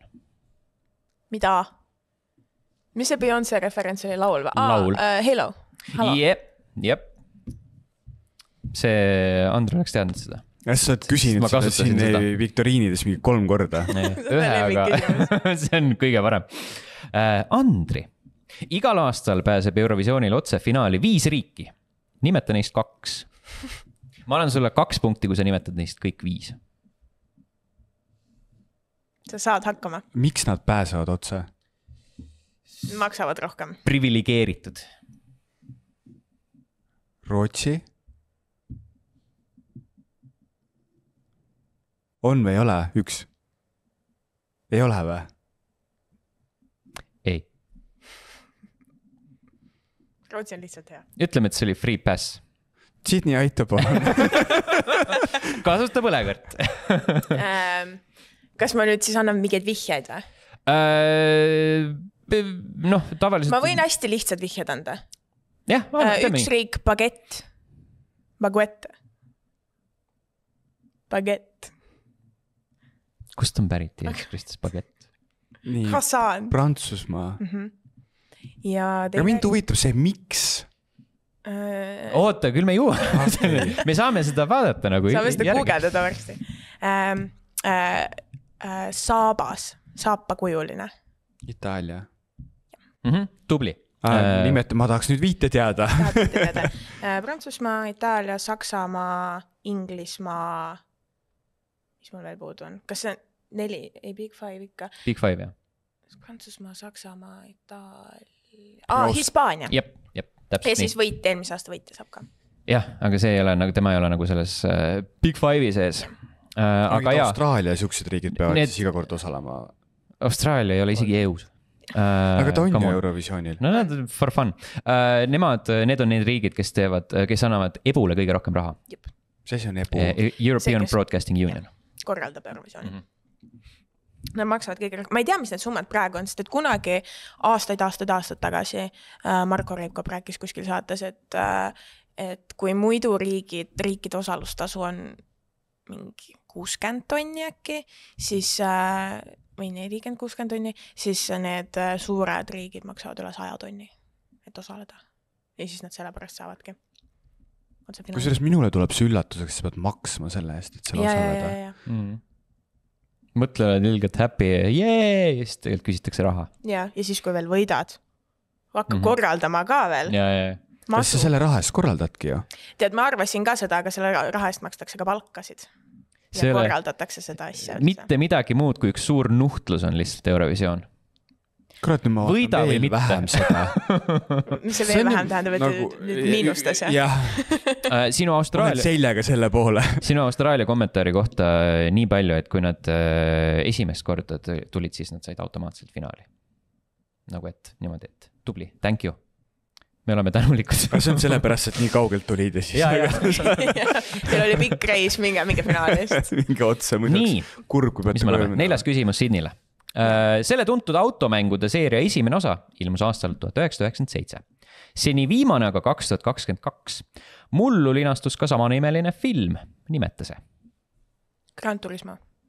jah, on küll. tubli. nii, oota, ma kontrollin äh, ühe, ühe asja üle mm,. ikka fact check. väike fact check äh,. Äh, nii mm,, väga hea, on, on ikka alati, alati tuleb üle kontrollida. Andri, kui pikk tohib äh, olla maksimaalselt Eurovisioonil kõlav lugu? ma tean, et äh, see Eesti tänavune lugu on kõige pikema nimega. seda ma lugesin täna täna lugesid või? ja okei okay.. see oleks nagu, oleks nagu aimanud teemat. aga kui pikk tohib olla Jaa. lugu?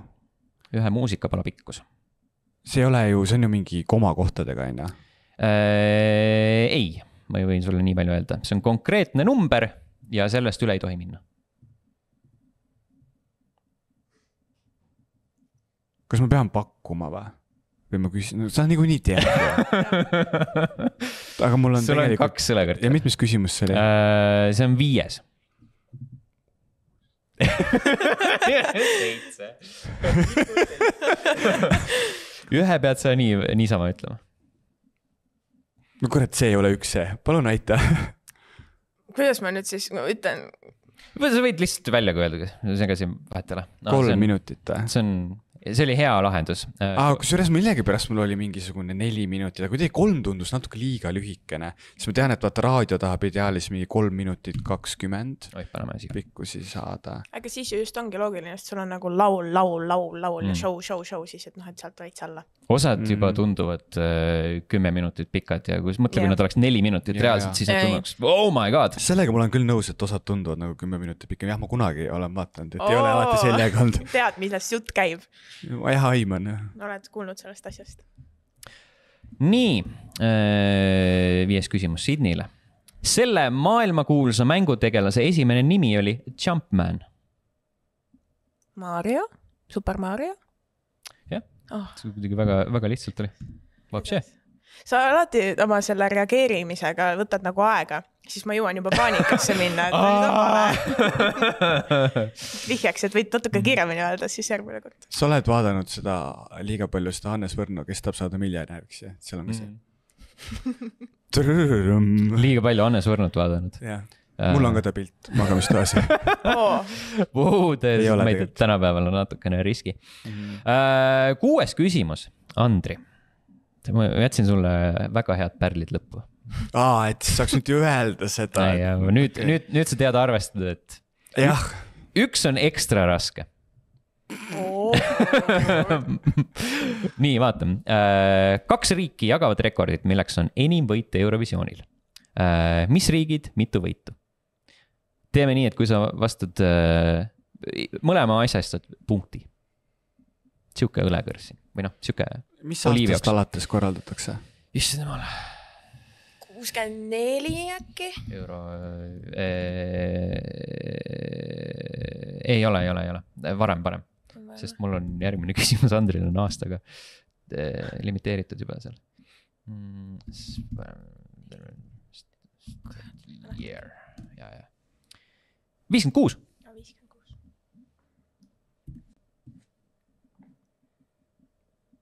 ma tahaks öelda Rootsi, aga ma nüüd hakkasin kahtlema selle peale, kui ta sinna suurde viite ei kuulu. Äh, need ei ole omavahel seotud. ei ole omavahel Mhm. seotud jah Jah.?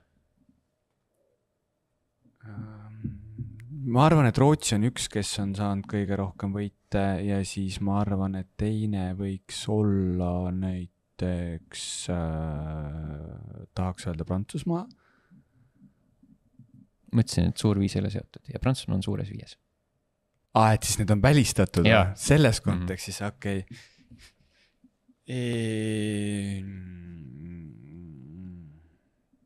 no Eestis ei ole. What? ma saan aru, et see võib nagu üllatusena tunduda, aga et tundub, et Eestis ei ole, nii. Aga siis äh, äkki siis Kreeka või? sest see on e- riik, mida me oleme täna maininud.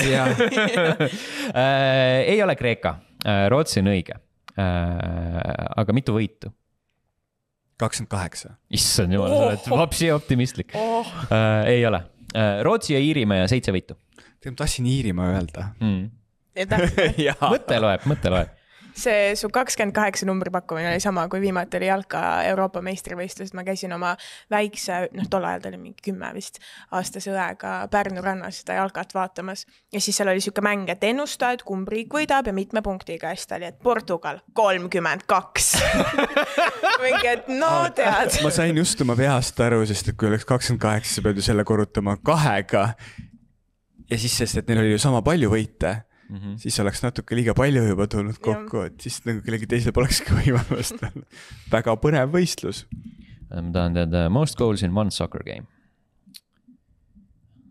See minu arust vist viimati tuli rekord, sest üks tiim, tiim oli mingisuguse punase kaardi peale pahandamismängu alguses anti ja siis nad põhimõtteliselt lõid terve mängu oma ja väravat., jah, jah. sada nelikümmend üheksa väravat, oma väravat. oi, oi, oi, oi. Mõtle, värav värav iga kolmekümne kuue sekundi tagant. kui sa pead seal nagu kohtunik olema, aitab juba. Ähm, kuues küsimus, Sydney. Mario kartis on ese, mis otsib üles esikohal oleva mängija, peatab ta päris korraliku plahvatusega. mis värvi see ese on? vot seda ma ei tea absoluutselt, palun aita. minu meelest oli sinine kilpkonn või? mis minu otsa vaatad? ma ei julge muidugi võtta kaasa seda nagu sinuga abi. mänginud, Sten. mina, mina, Sydney peab äh, ise otsustama, kas ta kasutab. ei, selles mõttes, et nagu punane on see, mis läheb otse.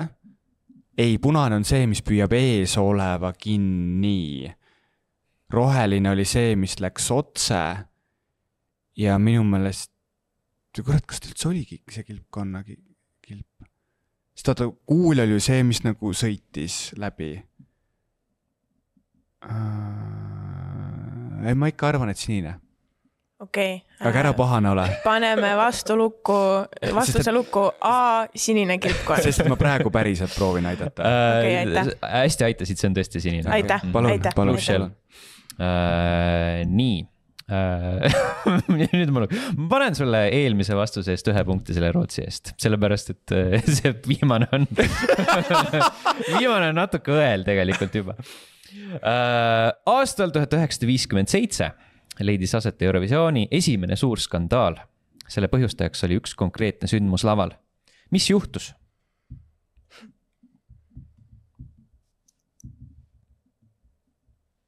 kas sa tead seda? ma, ma arvan, et ma tean, aga ma natuke kahtlen, aga ma arvan. kas äh, rohkem kui sinine kilp või? no sul on Ei, nii ma- või naa, sul on üks see võlekõrs olemas. ei no ei, siis ma kasutan ära selle jah. Aga ma nüüd, ma nüüd tõesti ei ole kindel, kas see on see, sest et okei okay, äh,, ükskord algusaegadel juhtus niimoodi, et neli riiki võitsid korraga. nagu kõik said sama palju punkte, aga ma ei mäleta, kas see oli see aasta, võis olla küll aga see kõlab nagu midagi siukest, aga kas see on nagu hästi suur skandaal või? mm. -hmm. võib-olla oli suurem skandaal ka, aga neli tükki nagu said sama palju punkte, jah. Äh, kordan küsimust või no õigemini ühte osa sellest. selle põhjustajaks oli üks konkreetne sündmus laval.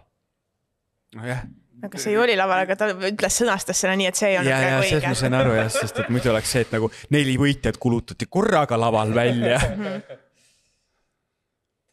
siis ma ei tea. no aga äkki selles mõttes, et kui see Eurovisioon nagu ikkagist mingisuguse vabaduse, avatuse sümbol oli, siis äkki seal ajal juhtus midagi, mis võis kuidagi viia seda, seda teed, seda, seda teed. seda, seda teed jah.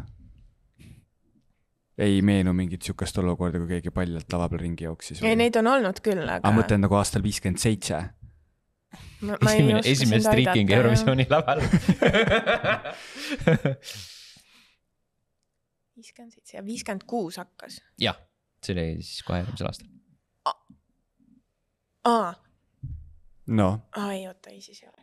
Ei räägi, räägi ei, mõttest ei, ei, sest et Šveits korraldas esimese Eurovisiooni ja nad võitsid ka, aga see ka ei ole skandaal. ja see oli viiskümmend kuus siis.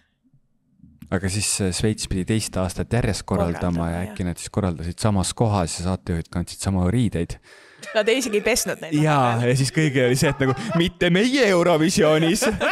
ja sellest ajast saati on Eurovisioonis saanud suur kostüümipidu, kus ka sama ürituse raames tuleb vahetada riideid mitu korda. vot, õige. oi, plee. see on päris, päris huvitavad pakkumised. aga enne kui ma tegelikult, ma ei hakka seda õigeks-valeks lugema veel, annan ühe vihje veel. see kestis üksteist sekundit. ha-ha-ha-ha.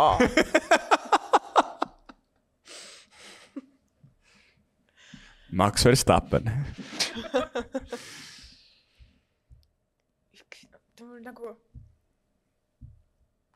kuskil kupp akla taga mingi nagu üksteist on peas. kas see oli siis tollel ajal, kui nagu põhimõtteliselt äh, osa asju oli värvikaameratega ja osa asju mustvalge kaameratega, siis tegelikult show pidi värviline olema, kas üheteistkümneks sekundiks läks äh, pilt mustvalgeks? olen suht kindel, et see oli mustvalge ajastu.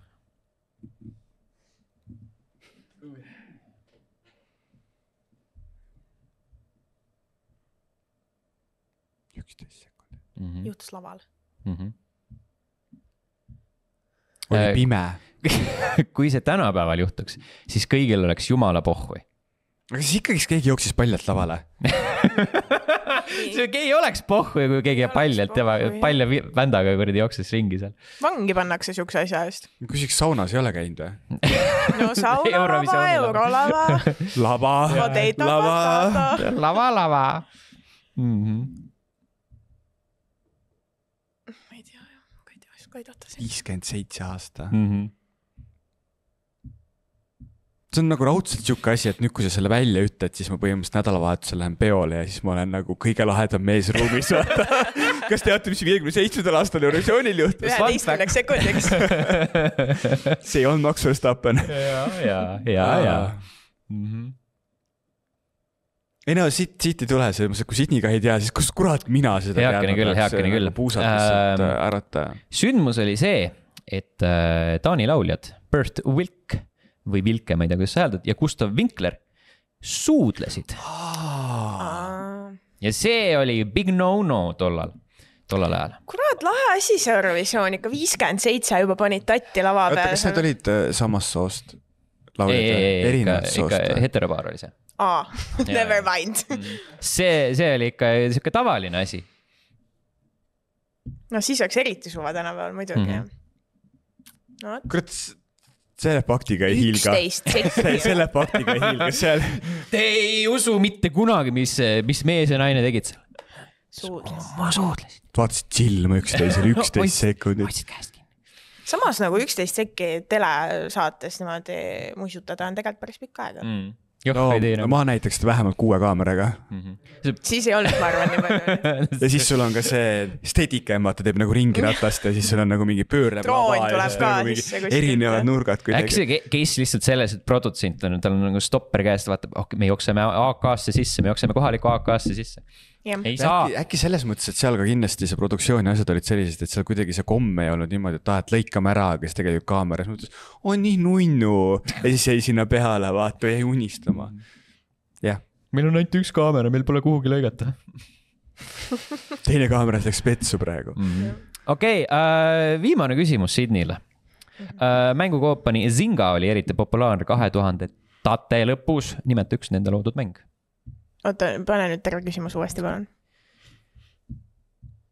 mängukompanii Zynga oli eriti populaarne kahe tuhandate lõpus, nimeta üks nende loodud mäng. mõtlesin, ma ju mõtlesin, et sa rääkisid mängukoopast. ma mingi, Mängukoopast. vau, seal oli nii palju mänge. mängukoopas kõik olid popid minu jaoks. jaa, Bomberman äh,, Singa mängukoopas või? ja kahe tuhandete lõpus. jah, nagu täitsa lõpus. eks, kes nagu kümnendate alguses ka veel populaarne või tegid hästi-hästi konkreetseid mänge. mm? -hmm. kas mul on üks õlekõrs veel alles või? jah kas, ma olen pro olnud või? sul on kaks isegi alles vist jäi. ei, ma ühe kasutasin ära selle sinise jah kilpkonnaga., siis ongi siis ongi kaks alles jah Jah.? kolm oli kokku. kolm, oh my god, oh, kaks tükki küsid. ah mis asja, palju sul alles on? Andrei on kõik küsimused vastatud. ma saan aru, et sa võtsid seda isiklikku küsimust väga isiklikult ja nüüd otsid kohti, kus ära vajutada, aga Sorry, see käib mu isiksusega kaasa. anna mulle mingi vihje, aga ära vastust ütle. ei no nad tegid hästi no konkreetseid selle sa juba ütlesid, see ei aidanud. Ehm, tollel ajal äh, oli see meedium, kuhu nad tegid neid mänge vahetult Eestisse jõudnud ja siis tegelikkuses hästi palju selle platvormi minu meelest edu oli seotud selle, nende mängudega. Sa said seal erinevatele inimestele kutseid saata näiteks ja siis põhimõtteliselt siis sa. megatüütu said olla. ja, ja siis see oli nii tüütu, kui keegi sulle kogu aeg kutseid saatis, siis mina vist vähemalt kahele või kolmele mängule sattusin niimoodi hambusse. no ma siis võtan vastu, sest et sain ju kakskümmend kulda, loomulikult ma siis proovin ja siis nägemist. ma olin, ma olin just ülikooli läinud, siis kui see oli popp. Mhm, ma olin mingi alla kümnene siis. kas sa ei läinud otse ülikooli või? Peale gümnaasiumi? yeah.. Läksid ikka jah yeah.? ma just mõtlesin, hakkasin kahtlema korraks, et nagu sa oled must ju vanem. kas see, kas seal, oota see küsimus oli üks mäng või? jah. nimeta mänge jah. Neil oli mitu võrdlemisi populaarset mängu. aga see, millest sa rääkisid, oli nagu platvorm? et nad tegid sellele platvormile tegid konkreetsele platvormile mänge, jah? Playforia või? Ei või? The fuck see on? mis asja? aa, siis mul läks ikka täitsa mööda, ma mõtlesin Playforiat, seal sai ka kutseid mm -mm. saata ja tüütu olla. no selles mõttes, et äh, näiteks äh, seda platvormi nimetatakse üheks äh, kaasaegse ühiskonna kukutajaks. TikTok. no me ma räägime. ma tean, ma tean. aasta kaks tuhat kaheksa, kaks tuhat üheksa nüüd mähkmed jalas siis alles viiesena või kaheksasena oh, raske lapsepõlv, pole midagi öelda. ja need on need. ma. no nad tegid Facebooki mänge mm. -hmm. oh, kas see oli Clarity või? Ütle ei, see mänge, oli mingi, et äh, kõik see rääkis praegu Facebookist või? üks Facebooki mäng nimeta või? ei, ei no Zinga, Zinga mängud olid konkreetselt seal. kas näiteks see, see nagu kõige popim on nende oma või, see, mida kõik ma ei tea, mida sa mõtled muidugi mis no, Farmville uh,. jah, Farmville oli jah oh,. Mhm.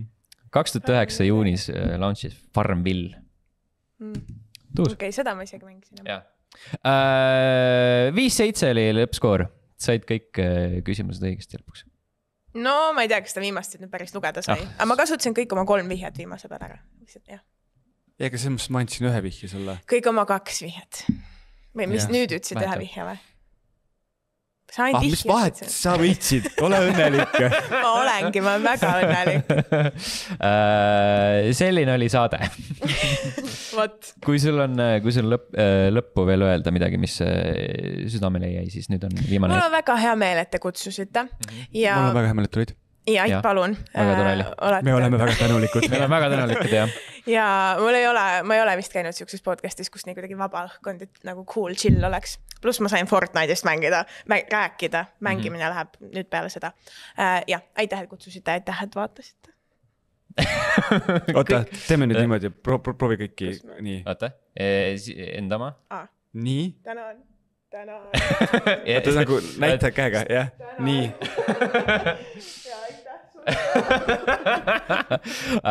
aitäh selle show eest, ma vajasin seda uh,. aitäh teile ka, kes te vaatasite, kohtume juba järgmisel nädalal, tšau. tšau. tšau.